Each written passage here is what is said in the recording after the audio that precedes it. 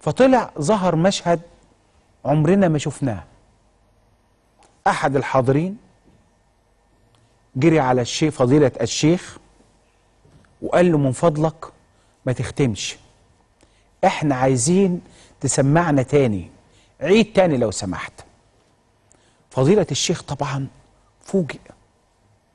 فوجئ. فوجئ بإيه؟ باللح... بال... بهذا الحدث اللي عمرنا ما شفناه ولا عمر حد يعمله. طبعا هو طب نشوف مع بعض نشوف أحسن.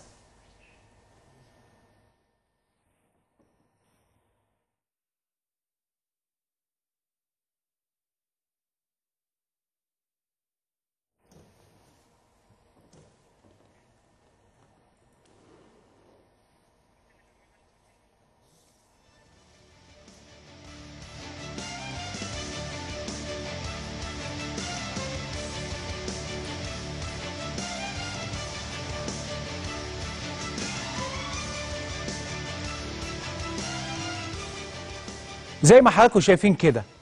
الشيخ آه، السيد الطنطاوي قدام حضراتكم اهو وطلع عليه اهو اهو المواطن قام من العزاء مسك فتح المطوة فتح المطوة اهو. بص فتح المطوة. طبعا هو مش بيهدده ولكن بيقول عي بس هي الطريق عارفين الطريقة العفوية؟ المنظر اللي بقول لك مش ممكن تلاقيه. طب ما هو انت لو قلت له من غير ما, ما تفتح المطوة وتروح وتجري وإحنا قاعدين في عزا يا جماعة. العزا والقرآن. أهو تحول الأمر. عيد يا مولانا. مولانا هيعيد من غير ما تطلع المطوة. مولانا هيعيد من غير ما تعمل الكلام اللي عملته ده. طبعا مولانا آه على فكرة مولانا ربنا يحفظه. يا رب. زي ما حضراتكم شايفين كده الثبات لو حد تاني كان إيه اللي إيه اللي جرى إيه اللي دخل عليه ده فاتح لي مطوة. إيه اللي مطلع لي المطوة؟ ما طلع مطوة قدامكم اهي كان الراجل قام جري. كان قام ولكن ربنا اداله ثبات بسم الله ما شاء الله. ما ده حامل كتاب الله. فربنا اداله الثبات كله الثبات كله والقوة كلها. ابتسم طبعا من المنظر من من الراجل عم الحاج آه، سيد تقريبا اللي قام وطبعا الناس في في العزا الصوان اللي موجود وأدي السكينة. المطوه ده مطوة. ده مطوة مطوة. مش حاجة صغيرة يعني. وبعد كده عرفنا إنه قال له إن أنا هبوظ لك عربيتك كاوتش العربية اللي لو مش هخليك تمشي. اقرأ لو سمحت تاني. ممكن كل ده صح يتعمل بس ما يبقاش بالطريقة دي.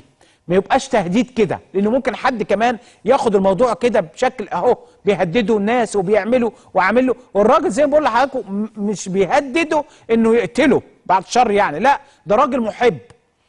وطول الوقت عم عايز أقول لحضراتكم هو ال ال ال ال القراءات شغالة والتلاوة آه، شغالة والناس عمالة يعني وراه وبقول لحضراتكم صوته لما أنا قعدت كمان أسمع صوته صوته جميل جدا. ولكن بقول لحضراتكم المنظر اللي هو عامل عمل حالة حالة لأنه ما فيش حد بيعمل ده ابدا إنه بتهدد آه، آه، آه، قارئ وهو يعني بيقرا قرآن وإن أنت حضرتك بتقوم كده تطلع السكينة أو تطلع مطوة عشان تهدده. وما كانش الأول حد متصور إيه الحكاية غير لما بدأ يتكلم معه قول له عايزك تعيد تاني مش هتمشي عيد. حاضر. قعد يعيد عدد كبير جدا من آه، آيات الذكر الحكيم. كنا من كام يوم كده